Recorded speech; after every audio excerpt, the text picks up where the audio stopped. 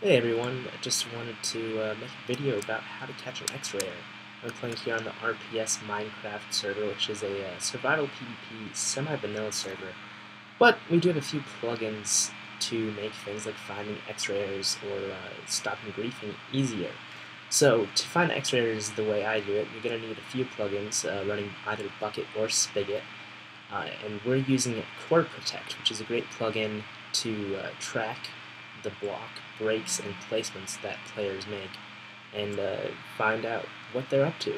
So in this example, uh, I would say you can use slash co l p, which indicates, or sorry, not p, uh, b, which indicates block, diamond, or t, seven days, and uh, hit enter, and it'll show you.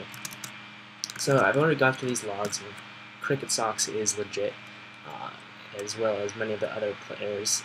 But basically, I go through the logs and teleport to the player's uh, breaks of Diamond Ore a few times to see what they're up to. And uh, in this case, I identified one called Beauty Teabag. So we're going to do C-O-L P Beauty Teabag block diamond ore times 7 days.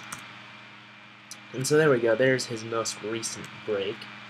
So we're going to teleport to the coordinates 352, 8, 418. And what do you know, it's pitch black, which is the first sign of an X-ray mine. Lots of X-rayers don't use torches because they don't need to. And so one of the things you need to have as an admin is an X-ray mod. Uh, I forget what the name of this one is called, but it's through ModLoader. I'll put a link in the description. Uh, not that I condone using X-Ray, but if you're an admin, you kind of need it. So here it is, Fullbright. This is where he last broke diamonds. Let's go back. This tunnel sure zigzags a lot. Seems like X-Ray. And here's the start of the tunnel. Looks like he came through here. Let's enable the inspector, which just means we can place a block or uh, break them to check. So he dug through here and then put gravel in. Went along here. Stone. Stone. Stone. Oh, and diamond ore.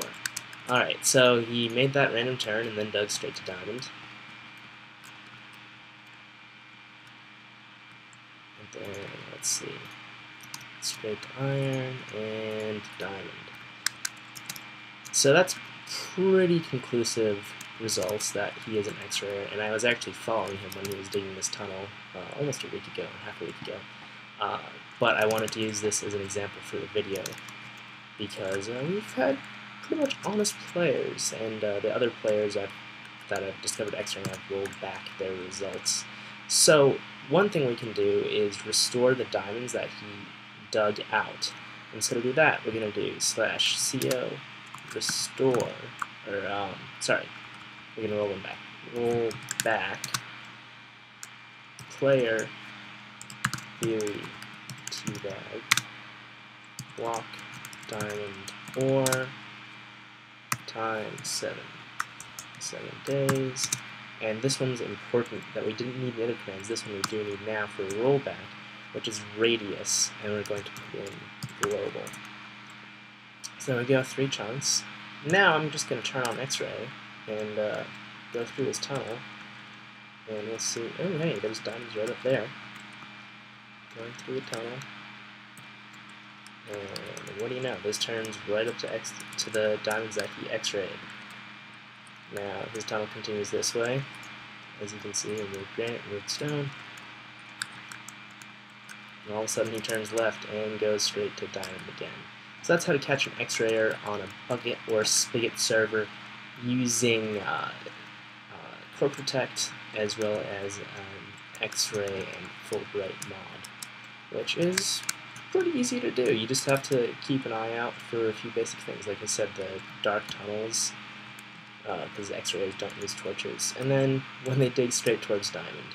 And I would also recommend rolling back the uh, things like diamonds so other players can find them. And uh, You know, otherwise the resources just get depleted that more quickly. Anyway, thanks for watching.